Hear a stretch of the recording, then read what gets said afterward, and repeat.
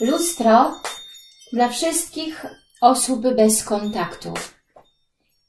Witam serdecznie wszystkich kochanych widzów, słuchaczy, subskrybentów na moim kanale Orakel Miłościu Loeli. Witam serdecznie dzisiaj, w sobotę, w weekend. Mam nadzieję, że wszystko u Was dobrze. Zobaczmy dla wszystkich zakochanych bez kontaktu. Być może macie kryzys, być może zerwaliście, być może pokłóciliście się. Zobaczmy, co karty Tarota i Lenormanda pokażą dzisiaj w lustrze, czyli w odbiciu lustrzanym. Co myślicie, co czujecie i co zamierzacie. Proszę również, kochani Państwo, dla wymiany energii o komentarze, o lajki. Napiszcie, czy wróżba z Wami rezonuje, czy się wszystko zgadza. Napiszcie cokolwiek, czy Waszą historię, czy wyrazy wdzięczności, dla wymiany energii. Podkreślcie również swoją obecność tutaj na moim kanale. Cieszę się, jeśli widzę, że jesteście obecni, że oglądacie, że jesteście tutaj w grupie z nami. Dziękuję serdecznie. Zapraszam oczywiście również, kochani Państwo, na wróżby indywidualne, które możecie nabyć poprzez adres e-mailowy. Oczywiście wróżby indywidualne są oparte na Waszych osobistych datach urodzenia, zdjęciach, konkretnych pytaniach dotyczących Waszych problemów. Wróżby indywidualne y, y, zamawiacie przez e-mail. Ja odpiszę Wam oczywiście o warunkach y, takich wróżb, ponieważ one są oczywiście płatne i zapraszam serdecznie. Mój e-mail znajdziecie pod filmikiem i w komentarzach. Dziękuję. Dobrze, więc zacznijmy, kochani.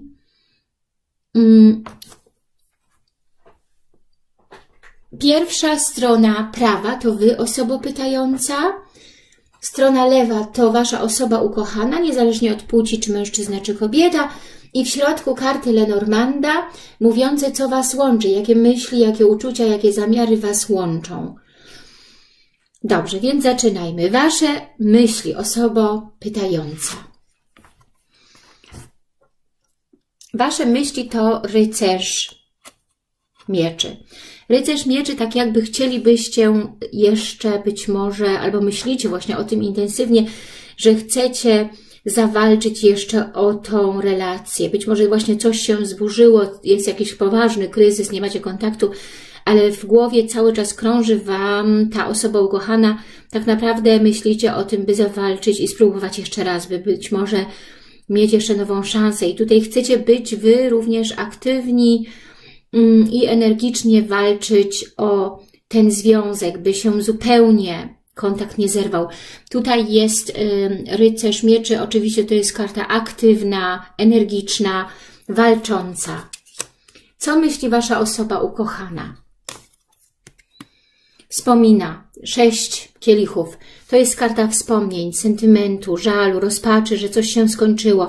Wspominanie dzieciństwa lub wspominanie właśnie pięknych czasów z Tobą, pięknych czasów, pięknych chwil, pięknych momentów romantycznych z Tobą i też żal, smutek po tym, że to się rozwaliło, skończyło, zepsuło, zerwało.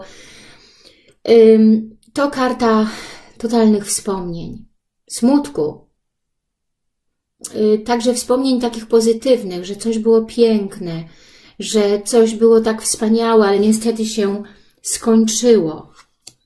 Co łączy Was? Jakie myśli Was łączą? Karta Lenormanda pokazuje, że łączy Was ogromna tęsknota. Czyli tęsknicie za sobą, myślicie wieczorową porą lub w nocy, lub śnicie o sobie wręcz. Macie być może sny związane z Waszymi pięknymi momentami, z marzeniami, z planami na przyszłość, z których nic nie wyszło. Natomiast tutaj jest karta tęsknoty, karta również pojednania telepatycznego, intuicji, że w intuicji po prostu czujecie, że jeszcze jesteście jakby obecni dla siebie, macie duże emocje, uczucia dla siebie. E, tutaj psychicznie jesteście ze sobą jakoś połączeni. Ta karta też może mówić oczywiście o bratniej duszy. No, macie też tutaj sny lub marzycie o tej osobie ukochanej, to znaczy łączy Was właśnie to, że marzycie o sobie i że Y, być może jeszcze marzycie o jakichś planach wspólnych ze sobą. Schodzimy teraz na drugi poziom, czyli emocje. Co czujecie? Osoba pytająca, co czujesz Ty? Znowu rycerz pentakli. Rycerz pentakli jakby tutaj Twoje uczucia są stabilne do tej osoby, którą kochasz, wspominasz, za którą tęsknisz. Są stabilne i chciałabyś tutaj emocjonalnej stabilizacji z tą osobą. Yy, dziewiątka pentakli mówi o związku stabilnym, o walkę, o związek stabilny, o bezpieczeństwo w związku które oczywiście teraz się rozwaliło, runęło, zepsuło, ale chciałabyś emocjonalnie, by to znowu wróciło do normy, by było stabilne, by dało Ci bezpieczeństwo, by budować właśnie tutaj z tą osobą e, Twoją ukochaną coś e, takiego właśnie solidnego, tak? Dziewiątka mieczy nie, to jest dziewiątka, przepraszam, dziewiątka monet oczywiście. Dziewiątka monet to dążenie konsekwentne do sukcesu, odpowiedzialność, dążenie do stabilizacji. Więc tutaj chciałabyś emocjonalnie, by ułożyło się właśnie wszystko jeszcze dobrze, byście, o, byście, chciałabyś Ty podążyć w stronę związku z Twoją osobą kochaną, stabilnego, solidnego, które da Ci poczucie właśnie E, bezpieczeństwa na długo. Zobaczmy, co czuje Twoja osoba ukochana. Wow, słońce, czyli czuje miłość, czuje bardzo pozytywne wibracje do Ciebie, czuje, że jest, e, nie wiem, no, że jeszcze płonie miłością, być może jesteś jeszcze dla niego ciągle atrakcyjna, powabna, pociągająca. On bardzo w dobrym świetle Ciebie widzi. On jeszcze pała gorącą miłością, pięknymi, pozytywnymi uczuciami do Ciebie. Co Was łączy? Oj, łączy Was chęć spotkania. Chcielibyście się spotkać, zobaczyć. Tęsknicie za spotkaniem, tęsknicie za tym, by się umówić, zobaczyć, by być ze sobą, E, być może dzieli Was tutaj odległość geograficzna, być może nawet wielka odległość geograficzna, ponieważ dzielą Was być może morza, oceany, kontynenty, nie wiem, kraje lub po prostu miasta. Tutaj jest chęć spotkania, chęć podróży, chęć spotkania się, być może spędzenia razem urlopu lub właśnie, żeby jeden do drugiego przyjechał, byście się zobaczyli. Mm, tęsknota czyli oboje tęsknicie emocjonalnie za spotkaniem. Wasze zamiary, osoba pytająca, osiem pentakli. Osiem pentakli to koncentracja na pracy. Być może w stosunku tej emocjonalnym do tej osoby chcesz pracować nad tym związkiem. Wiesz, że ten związek, jeśli miałby nową szansę, to wymaga dużej pracy, dużego wysiłku, ale jesteś gotowa dla tej pracy nad tym związkiem, nad tą relacją, by ją ratować i by ją tutaj y, zatrzymać czy pielęgnować. W przełożeniu kart na dnie jest 10 mieczy, czyli coś zostało odcięte, rzeczywiście kontakt stracony, co Cię właśnie przygniata, co Ciebie załamuje, Y, tutaj któryś z Was odszedł lub oboje odeszliście we własne strony, w swoje strony, y, odcięliście zupełnie, no bo miecze odcięliście zupełnie tutaj ten więz między Wami i to Ciebie boli, to Cię załamuje, po prostu nie pozwala Ci wręcz wstać z tego bólu. Y, dziesięć mieczy to depresja, coś, co Cię przygniata, nie możesz się podnieść, coś, co dobiegło końca, Y, niby patrzysz na nowy horyzont, ale y, jakby tutaj masz żałobę po tym związku, który się zakończył i bardzo, bardzo jesteś smutna z tego powodu, tak jak mówię, wręcz depresyjne tutaj klimaty. I dlatego chcesz ratować ten związek, dać tą jeszcze jedną, być może szansę temu związkowi, chcesz walczyć o ten związek i chcesz zbudować coś stabilnego, jesteś gotowa pracować nad tym związkiem. Zobaczmy u Twojej osoby ukochanej, jakie zamiary ma ta osoba. Paść pentakli. Paść pentakli mówi o sobie młodej, młodszej od Ciebie, równej Tobie wiekiem, ale bardzo witalnej, młodej duchem, aktywnej, energicznej, jednak bez doświadczenia, która jeszcze patrzy w przyszłość i myśli o tym, by nabierać doświadczenia, by nabierać jeszcze jakby tej rutyny. Tutaj e, paść pentakli również e, trzymając w rękę monetę myśli o czymś stabilnym, czyli jego zamiary są do Ciebie stabilne, jednakże jeszcze niedojrzałe, niepewne, e, takie, widzimy, że są jeszcze pasywne, tak? Pasywny stoi na jednej nodze jak czapla, jest jeszcze pasywny, nie robi jakiegoś kroku z Twojej stronie, by się pogodzić, by mieć jeszcze szansę, ale na razie się przypatruje, przygląda, być może śledzi Cię gdzieś na jakichś netzwerkach, natomiast chce zbudować coś stabilnego. Jeśli będzie tutaj jakiś krok naprzód, to chce zbudować coś stabilnego i tutaj w przełożeniu kart Tarota mamy kochanków, czyli jego zamiary są oczywiście E, byście byli znowu kochankami, byście byli w relacji razem, miłość, energie romantyczne, miłosne. Także jego zamiary są tutaj piękne, miłosne. I to potwierdzałaby też karta jego emocji, e, którą ma w sercu, karta słońca, tak? Że ma bardzo dobre do Ciebie emocje, uczucia, wibracje, energię pozytywną, piękną, gorącą, gorąca miłość. I tutaj potwierdza ta karta kochanków, że chciałby bardzo nową szansę na miłość. Jakie zamiary Was łączą? Oj, szczury. No niestety piękne czytanie, ale zakańcza się tutaj szczurami. Szczury to straty. Straty poprzez Wasz kryzys, straty poprzez problemy, jakieś sprzeczki, czy jakieś no, problemy w komunikacji, problemy z widzeniem się, z zobaczeniem się z randką, problemy jakieś tutaj y, obojgu Was które doprowadziły do ruiny, do strat w tym związku. Szczury są oczywiście pasożytami, które wyżarły Wasz związek. Być może ktoś się wtrącał do Waszej relacji. Być może jakieś inne osoby, które tutaj coś psuły, kręciły, mieszały. No, szczury mówią o tym, że y, też macie lęki. Lęki w stosunku do siebie poprzez, nie wiem, jakieś różne komplikacje. Tutaj karta w przełożeniu, która jest jeszcze do szczurów, czyli dwie negatywne karty, szczury i żmija. Są jakieś zawiłości, nieklarowności, e, zawiłe, zakręcone sprawy, toksyczne, trudne, y, jakieś komplikacje, które nie pozwalają, byście się spotkali, zobaczyli, byście byli razem.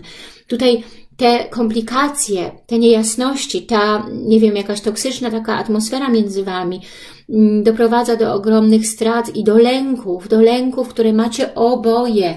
Czyli oboje to, co Was łączy w zamiarach, co Was blokuje, co Was hamuje w Waszej aktywności, to lęki. Przede wszystkim widzę tutaj ogromne lęki i ogromne jakieś tutaj komplikacje. Być może jest to związek skomplikowany, niejasny, nieklarowny. Na pewno jesteście również zrezygnowani, nie, niezadowoleni, nie wiecie, co macie zrobić. Y, ponieważ za dużo lęku w Waszej psychice blokuje właśnie tutaj działanie, by wrócić do siebie, by zacząć jeszcze raz, by jeszcze raz wziąć, jak to się mówi, y, nową szansę za nogi. Macie dużo tutaj trosk. Jesteście nieszczęśliwi, że to się wszystko tak potoczyło, jak się potoczyło, że zostało to wszystko jakoś zrujnowane. I to Was jakby tutaj blokuje. Także niestety piękne czytanie, ale kończy się takimi lękami, komplikacjami, które nie są między Wami wyjaśnione, które Was obu blokują.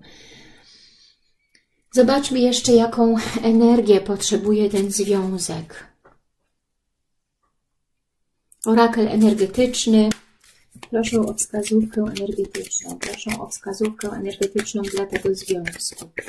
Proszę o wskazówkę energetyczną dla tego związku. Proszę o wskazówkę energetyczną dla tego związku. Trzecia czakra, Archanioł Hamuel. Trzecią czakrę, Solar Plexus Chakra, powinniście oczyścić. Czyli solar, solarną solarną czakrę powinniście tutaj oczyścić. Już Wam, kochani, powiem coś o tej czakrze.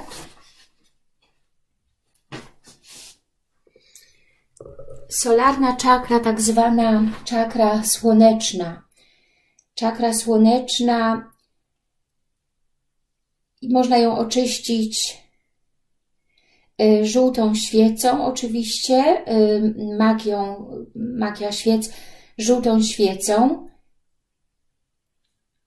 Czyli zapalcie żółtą świecę i mówcie oczyszczam czakrę słoneczną.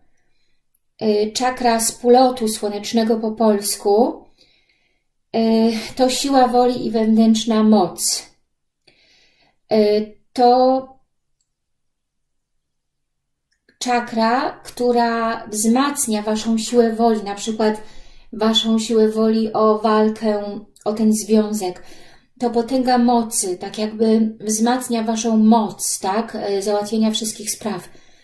E, demonem tej czakry jest poczucie wstydu i nieustannie obwinianie się, e, co sygnalizuje nierównowagę tej czakry, czyli jak ta czakra jest niewyczyszczona, zapchana, to właśnie macie poczucie wstydu i obwiniacie się za wszystko, co się wydarzyło złego.